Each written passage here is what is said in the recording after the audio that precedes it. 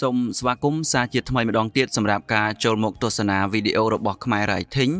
នៅក្នុងវីដេអូនេះលោកគ្រូសូមបង្ហាញជូនតាក់ទងជាមួយនឹងតែងសេចក្តីប្រធានពន្យល់មួយទៀតដែលប្រធាននេះគឺពាក់ព័ន្ធជាមួយនឹងសង្ឃដីការបស់សម្ដេចព្រះសង្ឃរាជចូលតាញាណោជួនណាតនៅក្នុងទីនេះ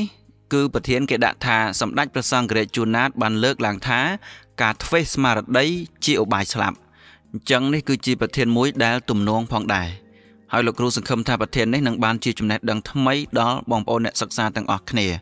ឥឡូវនេះអត់មានហាយហាយអីច្រើនទេ យើងចាប់ផ្ដើមទៅមើលសេចក្តីលម្អិតទាំងអស់គ្នាតែម្ដង ពេលនេះយើងបានមកដល់ហើយយើងមើលប្រធានសម្ដេចព្រះសង្ឃរាជជួនណាតបានលើកឡើងថា ការធ្វេសស្មារតីជាឧបាយស្លាប់អញ្ចឹងប្រធានបែបនេះគឺជាប្រធានទូទៅហើយគេមិនតម្រូវឲ្យយើងលើកយកឧទាហរណ៍នៅក្នុងរឿងអីមកបញ្ជាក់នោះទេ មានន័យថាគឺយើងធ្វើតាមបែបសេរីតែម្ដង ឥឡូវនេះយើងចាប់ផ្ដើមចូលទៅមើលលំនាំបញ្ហាក៏ដូចជាសេចក្តីផ្ដាំទាំងស្រុងយើងអានទាំងអស់គ្នាពពកបរោះខ្មែរសម័យដើមសម្បូរទៅដោយកវីនិពន្ធនិងអ្នកប្រាជ្ញជាច្រើនដែលមានទេពកោសលខាងតែងកំណាព្យនិងតតែនិពន្ធក្នុងនោះសម្ដេចព្រះសង្ឃរាជជួនណាត គឺជាកវីនិពន្ធមួយរូបដែលមានទេពកោសលខាងនិពន្ធយ៉ាងល្អដែលបានបង្កប់ពាក្យអប់រំទូនមានក្នុងកំណាព្យជាច្រើន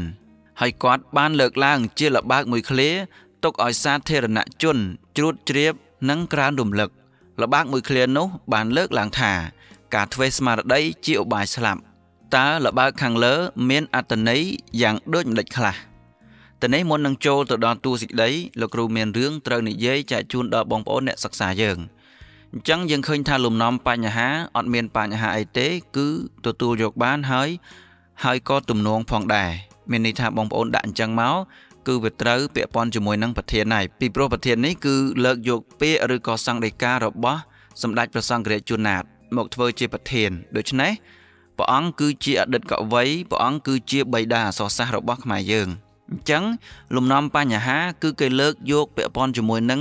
អក្សរសាស្ត្រក៏ដោយតាក់ទងជាមួយនឹងអក្សរសិល្ប៍ក៏ដោយតាក់ទងជាមួយនឹងសុភាសិតកំណាព្យឬក៏ពាក់ព័ន្ធជាមួយនឹងកវីនិពន្ធនឹងក៏ដោយ គឺអាចមកធ្វើជាលំនាំបញ្ហាបានទាំងអស់ស្ដាប់ទៅគឺវាចូលគ្នាហើយគ្រាន់តែថាពាក្យព័ន្ធជាមួយនឹងពាក្យកន្លែងនេះគឺអ្នកសរសេរគឺគាត់បានសរសេរថាជាលបើកតាមពិតលបើកសំដៅទៅលើរឿងផ្សេងផ្សេងជាពិសេសរឿងដែលនិពន្ធជាកំណាព្យហើយបើសិនជាពាក្យខ្លីបែបនេះអាហ្នឹងយើងមិនគួរប្រើពាក្យលបើកទេអានេះបងប្អូនយើងអាចប្រើពាក្យផ្សេងទៅវិញពីព្រោះកន្លែងនេះមិនមែនជាកំណាព្យដែលមានលក្ខណៈទ្រង់ទ្រាយធំទេ ហើយក៏មិនមែនជាសាច់រឿងអីដែរគ្រាន់តែជាពាក្យធម្មតាយើងអាចចាត់ទុកថាជាពាក្យស្លោករបស់សម្ដេចព្រះសង្ឃរាជជួនណាត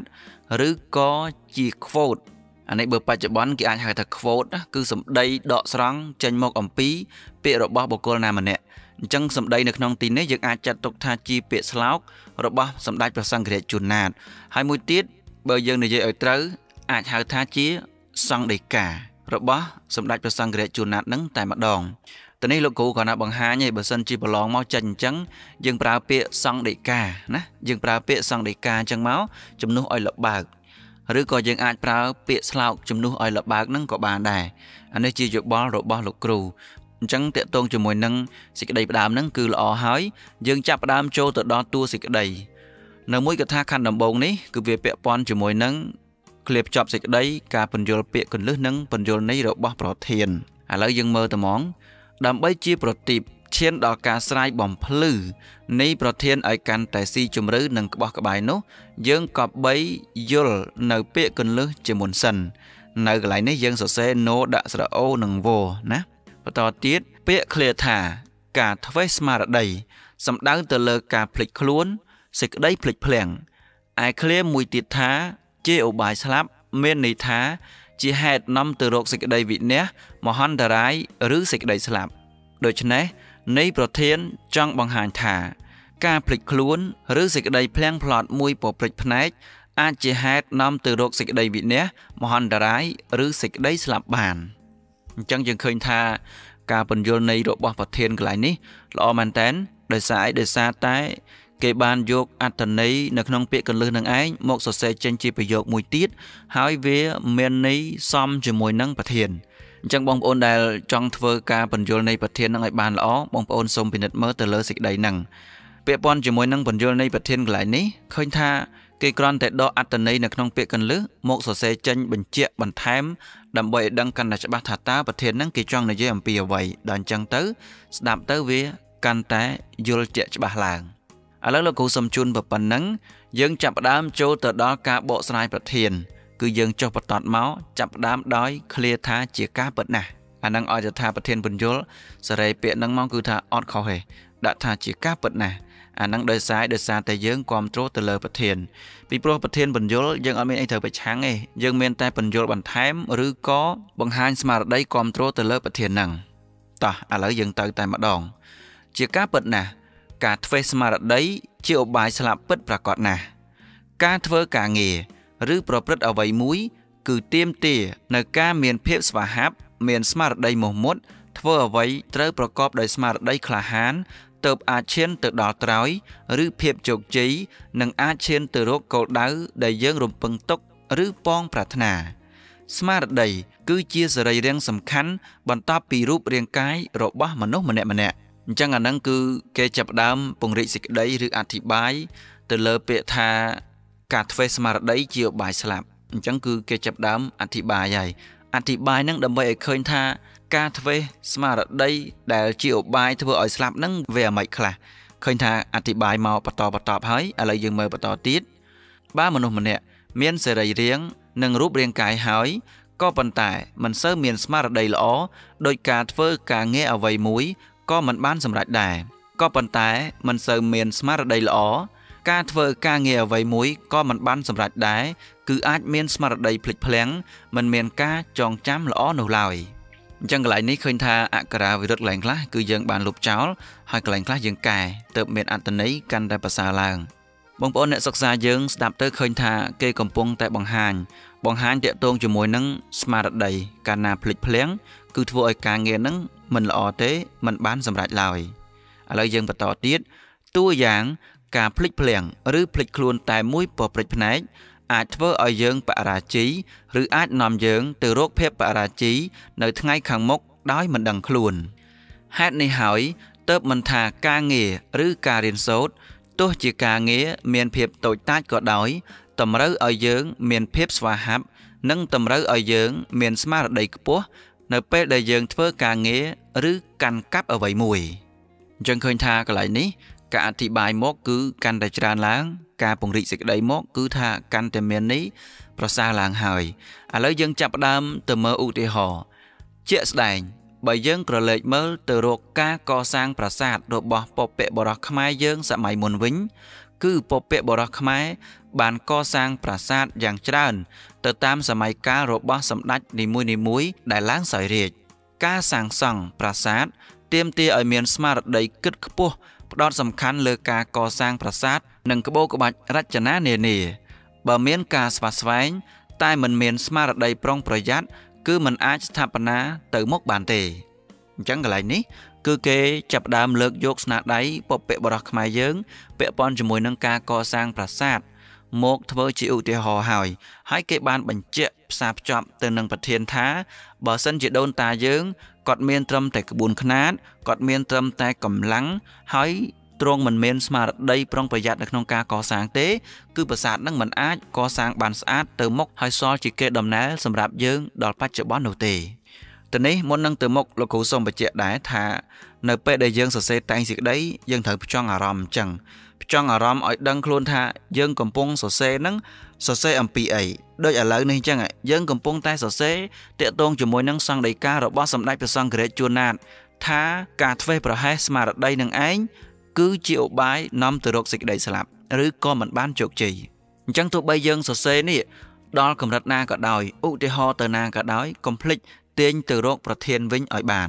កាលណាសរសេរអញ្ចឹងទៅធ្វើឲ្យសំណេររបស់យើង មានភាពតាក់ទងគ្នា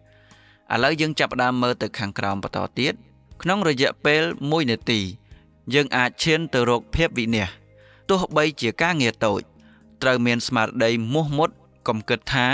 ការងារតូចមួយមិនអាចនាំយើងឈានទៅរកការវិន័យនិងគោលបំណងដ៏ធំរបស់យើងម្នាក់ម្នាក់ទៅនេះគេចង់និយាយថាទោះបីជាការងារនឹងតូចក៏ដោយ យើងមិនត្រូវធ្វើប្រហែសទេ ហើយក៏មើលងាយការងារហ្នឹងពីព្រោះវាអាចធ្វើឲ្យយើងខកចិត្តឬក៏ខាតបង់ទៅលើគោលបំណងធំរបស់យើងនោះឯងបន្តទៀតជាពិសេសមិនមែនគិតថាការងារឬធ្វើអ្វីមួយដ៏ធំបាន មិនចាំបាច់យកចិត្តទុកដាក់ទៅលើការងារនោះអានេះចង់និយាយថាយើងកុំប្រមាថយើងកុំធ្វេសប្រហែសថា ការងារតូចតាចឬក៏ធំហ្នឹងយើងមិនបាច់យកចិត្តទុកដាក់ទេមានន័យថាយើងត្រូវតែយកចិត្តទុកដាក់ឥឡូវយើងមើលបន្តទៀត ត្រូវចាំទោះតូចក្តីធំក្តីដាច់ខាត ត្រូវមានការយកចិត្តទុកដាក់ឲ្យស្មើគ្នា ដើម្បីពង្រឹងឲ្យមានស្មារតីអង្អាចនិងអាចគ្រប់គ្រងកលៈទេសៈ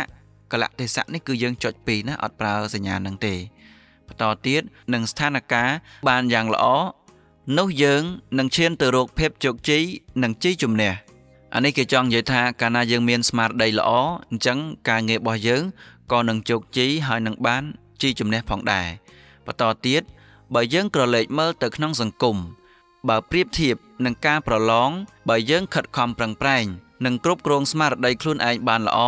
នោះនឹងមិនមានភាពភ័យញាប់ញ័រឬភ័យខ្លាចនោះទេ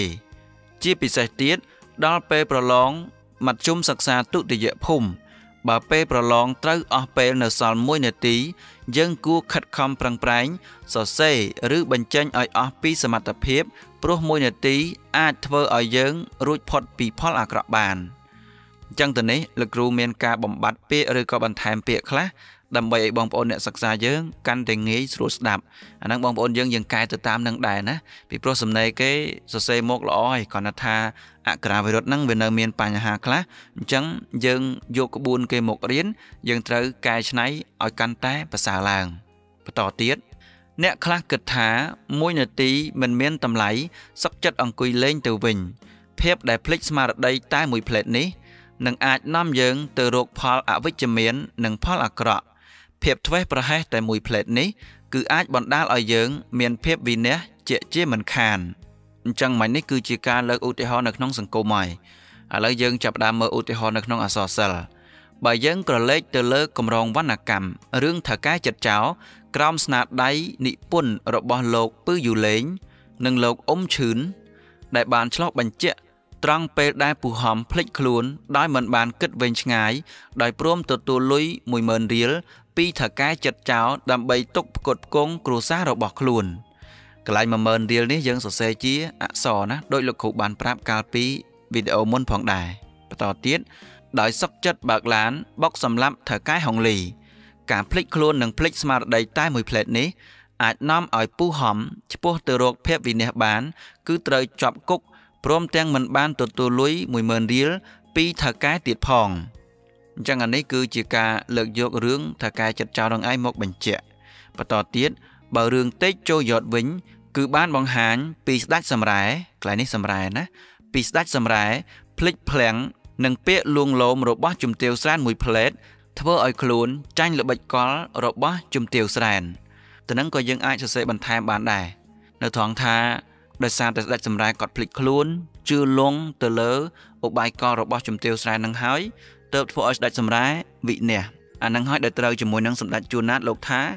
ការណាត់ធ្វេសប្រហែសជាឧបាយនៃសេចក្តីស្លាប់អញ្ចឹងឃើញថាការអធិប្បាយឬក៏ការបកស្រាយប្រធាននេះមកគឺមានន័យស្ដាប់បានគ្រាន់តែថាបងប្អូនយើងជួយកែទៅលើអក្ខរាវិរុទ្ធនិងបន្ថែមបន្ថយពាក្យខ្លះទៅឥឡូវនេះយើងចុះបន្តចូលមកមើលការសរុបសេចក្តីសរុបសេចក្តីមក ការធ្វេសប្រហែសស្មារតីភ្លេចភ្លាំងតែមួយរយៈពេលខ្លី ទោះរឿងធំ ឬរឿងតូចក្តី គឺអាចនាំយកផលអាក្រក់ឬផលអវិជ្ជមាន និងសេចក្តីវិន័យដល់ខ្លួនឯងជាមិនខានឡើយអញ្ចឹងសរុបសេចក្តីនេះយើងគ្រាន់តែសរុបទៅលើអ្វីដែលយើងបានបកស្រាយមកអំបញ្ញមិញនោះឯងឥឡូវយើងចូលដល់កថាខណ្ឌចុងក្រោយ គឺការវេតម្លៃប្រធាន និងការបញ្ចេញនៅ ទស្សនៈផ្ទាល់ខ្លួន យើងមើលឆ្លងតាមការបកស្រាយនៃរបស់ប្រធានខាងលើយើងអាចសន្និដ្ឋានបានថា មតិរបស់ប្រធានខាងលើនេះពិតជាមានអត្តន័យនិងការអប់រំយ៉ាងជ្រាលជ្រៅដល់មនុស្សម្នាក់ម្នាក់នៅក្នុងសង្គមនិងអប់រំឲ្យធ្វើការងារទោះជាតូចក្តីឬធំក្តីត្រូវផ្ចង់អារម្មណ៍ស្មារតីឲ្យប្រកបទៅដោយសបញ្ញៈនៅក្នុងខ្លួនជានិច្ចទៅទទួលបានជោគជ័យអញ្ចឹងការវេតម្លៃបែបនេះគឺសមហេតុផលមានន័យថាយើងវេតម្លៃថាប្រធានហ្នឹងគឺមានអត្តន័យល្អហើយយើងប្រាប់ហេតុផលមក មានន័យថាប្រធានហ្នឹងគឺជួយដាស់ស្មារតីឲ្យយើងក៏ដូចជាអ្នកដតីនឹងឯងយកចិត្តទុកដាក់ទៅលើការងារកុំភ្លេចភ្លាំងស្មារតីឲ្យសោះបន្ទាប់មកយើងបញ្ចេញនៅទស្សនៈផ្ទាល់ខ្លួននេះឥឡូវយើងអានតែម្ដងដូចនេះក្នុងនាមយើងជាសិស្សានុសិស្សគួរកប់3យល់នៅតម្លៃអប់រំខាងលើនិងយកតម្រាប់តាម ដោយមិនមានការធ្វេសប្រហែសស្មារតីនៅពេលធ្វើកិច្ចការអ្វីមួយឡើយ ទើបអាចនាំយើងទៅរកភាពជោគជ័យទាំងការសិក្សា ធ្វើការងារនិងអភិវឌ្ឍសង្គមជាតិឲ្យរីកចម្រើនអញ្ចឹងឃើញថាការឲ្យមតិយោបល់នេះគ្រាន់តែថាធ្វើម៉េចយើងទាំងអស់គ្នានឹងកុំធ្វេសស្មារតីអាហ្នឹងទៅការសិក្សា ការងារនិងសង្គមយើង បានជោគជ័យបានរីកចម្រើនទាំងអស់គ្នាហើយលោកគ្រូសូមអធិស្ឋានផងដែរឃើញថាសំណេរមួយនេះមានការខុសអក្ខរាវិរុទ្ធនឹងច្រើនក៏ប៉ុន្តែបើសិនជាបងប្អូនយើង ចេះកែច្នៃនៅសំណេរមួយនឹងកែអក្ខរាវិរុទ្ធខ្លះនិងបន្ថែមសេចក្តីខ្លះទៅគឺពិតជានឹងទទួលបានសំណេរមួយដែលល្អជាជាមិនខានចឹងសម្រាប់វីដេអូនេះគឺសូមជូនតែប៉ុណ្្នឹងទៅចុះជួបគ្នានៅវីដេអូក្រោយជាបន្តទៀតសូមអរព្រគុណនិងអរគុណសម្រាប់ការទស្សនា